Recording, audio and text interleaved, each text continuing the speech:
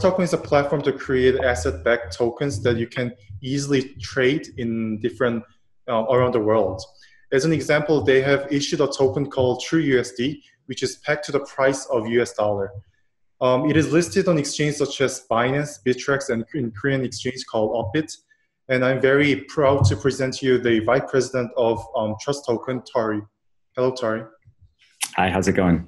So the first question I want to ask you is, could you briefly introduce yourself and your team? Sure. So uh, again, my name is Tory Reiss, and uh, I'm a VP here at Trust Token. I'm in charge of uh, corporate development, um, but also uh, work on product strategy as well. Um, our team is a we're all based here in San Francisco, uh, and we come from a collection of places, including Google, uh, Stanford, Palantir, uh, and many have a banking background as well, uh, Goldman, and etc. So let's get to the point. So, what is stablecoin, and why is it so important? Sure. So, stablecoins are a, a hot topic right now because of how volatile the cryptocurrency markets have been. Obviously, Bitcoin, Ethereum, and, and most of all the altcoins have been uh, rising and falling very rapidly. But as people are, and entrepreneurs and businesses are moving more and more onto the blockchain, they need a stable store of value, something that they can use for purchases, for transfers, and for all sorts of use cases where they won't risk it uh, dropping in value overnight. So in South Korea, we do not have any form of stablecoin, if I if I'm correct. So the average viewers might not have have a very hard time understanding how a stablecoin be, can be used in real life. So could you give me a like specific example and explain a bit more with examples?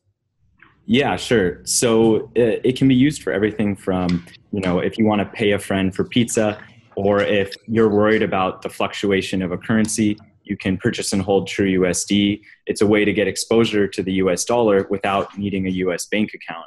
Um, we have lots of institutional traders and hedge funds that, when the markets are uh, beginning to go down, they'll purchase a large amount of True USD so that they can uh, hedge all of their positions. Uh, those are just a few examples, but we've seen people start to use TrueUSD for things like real estate purchases uh, or sending money internationally. There's really all sorts of uh, use cases for it. So instead of TrueUSD, what what other assets are you um, thinking of issuing? Could you explain about that?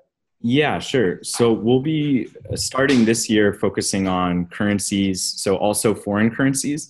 Um, but soon we're going to uh, be launching commodities as well, things like gold and silver, um, and maybe in the future things like diamonds or, or oil.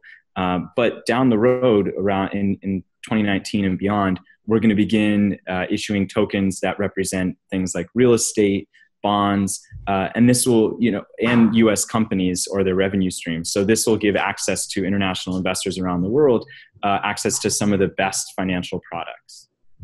So uh, this is a question that I want to. It's kind of critical question because I believe that there's a disbelief with, uh, with um, stablecoin. For instance, the Tether is the most popular form of stablecoin nowadays um, however, the transparency of that um, cryptocurrency is always questioned all the time. I mean, is it transparent? There's audit, and no one believes in um, stablecoin nowadays. So, what is difference um, between um, Tether and True USD? How is it more transparent? Yeah. So there's a few things. Uh, the the easiest to point to is the fact that we actually have uh, relationships with outside third party accounting firms, uh, and they perform attestations, uh, which are reports on all of the funds held in our bank account and all of the true USD that's in circulation, confirming that those amounts match. And we post those reports publicly every single month. Uh, and you can view those on our blog today. Um, on top of that, though, perhaps the biggest difference between us and Tether is that users can come to our website, sign up to use our web app, and then they can actually redeem their true USD for US dollars. Uh, and we've built legal protections into our product so that we as a company cannot touch the funds. Uh, unlike Tether, uh, this means only the token holders have a legal right to claim the dollars in the bank account. Mm, that, that, that's a huge difference. So um, the pro- another question I want to ask you is um, there are a lot of governments for against cryptocurrency, and I think you'll have a lot of difficult time issuing different um, stable coins. So how are you going going to work with different governments? I mean, you have already worked with obviously U.S. governments, but with other governments, how are you planning to work with them, and how are you trying to be complying with their rules? Yeah. So we uh, we're partnering with uh, an exchange in Japan called Coin, and we are brokering with them a, a, conversation with the FSA and the Japanese government to explore what stablecoins can look like in Japan. But in other countries like Korea um, or throughout the European Union or or the UK, um, we want to start being proactive as well. We plan to uh, hire an office in Asia so that we can be more progressive and join all the conversations happening both in government and within banks. Uh, because we want to work with those institutions to bring uh, tokenized forms of their currencies to market. Oh, that's really great. Uh, recently, TrueUSD was listed on Binance. However, the price of TrueUSD was kind of fluctuated during that time. Um, could you explain what happened and how are you planning to solve this problem? Yeah, sure. Uh, we, we don't actually see it as a, as a problem. So the, the stability of TrueUSD is based on the fact that anyone can come and redeem for the US dollars at any time. Uh, the price that's represented on an exchange is really just what someone somewhere in the world is willing to pay for it at that time. So, uh, you know, if at any point in time, like you were walking down the street and someone said, I will buy that $1 for a dollar and 50 cents, that would be a good deal. You should sell them your dollar. Uh, and that's what was going on in Binance is there was uh, speculation and people didn't quite understand. They weren't familiar with our product. So they were willing to pay more than it was worth to purchase it. But quickly the market was educated and realized, oh, wait, this is actually worth only $1 and I can redeem for $1. And so you saw the price stabilize.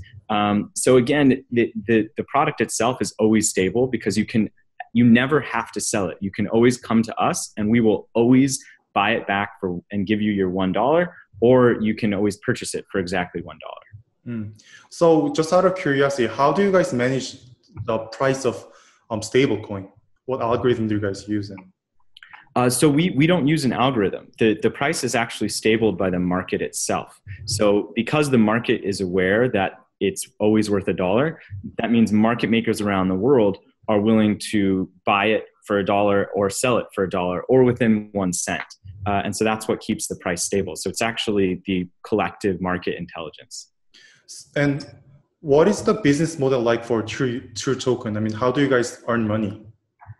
Yeah, so on uh, Trust Token as a business, where it's a broader business, uh, we plan to over time essentially become like a decentralized investment bank. Uh, this means, well, we will have a platform, which is really a network uh, for underwriting. We're also going to offer a service which is similar to like an investment bank where we're going to help businesses um, do their security token offerings and in that way we're going to char- we're able to charge fees and take a, a portion of the the ultimate offering so um, we, we plan to generate revenue through other parts of the business and that's how we're able to offer certain products like true usd uh, at break even. Um, trust token received $20 million in funding. Um, how do you how are you planning to spend that money? Like like how are we going to invest and how are you going to how much are we going to spend on development and so on? Yeah.